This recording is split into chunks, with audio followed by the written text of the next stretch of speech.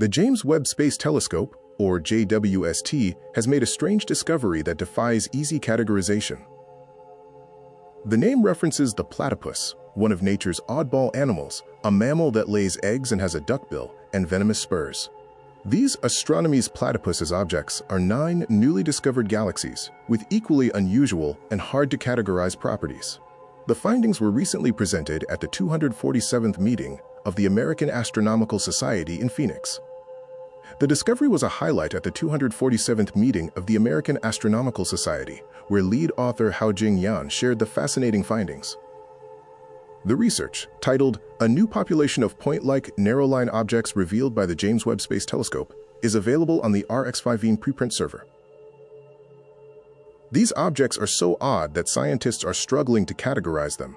They seem to defy the current understanding of celestial objects. The galaxies are characterized by their point-like shape and narrow permitted emission lines, a combination that doesn't fit known celestial categories. Yan noted that they are extremely tiny and compact, like a point source, yet lack the characteristics of a quasar, which is typical for distant point sources. The research team began their investigation by sifting through a large sample of candidates to narrow down their focus. The team initially analyzed about 2,000 point sources from three different JWST surveys, CEERS, UDS, and Cosmos.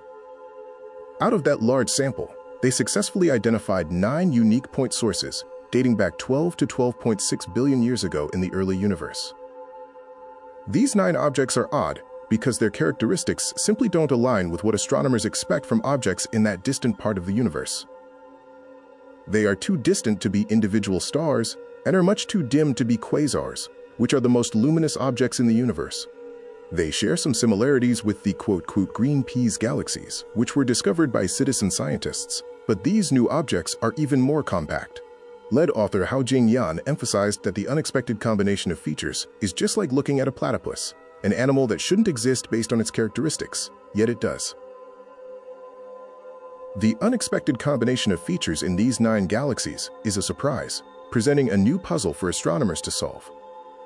Yan compares the JWST's spectra data to the platypus's detailed genetic code, revealing just how unusual and complex these objects truly are.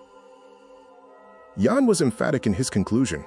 The bottom line here, our objects are not quasars, despite the objects being tiny and distant point sources.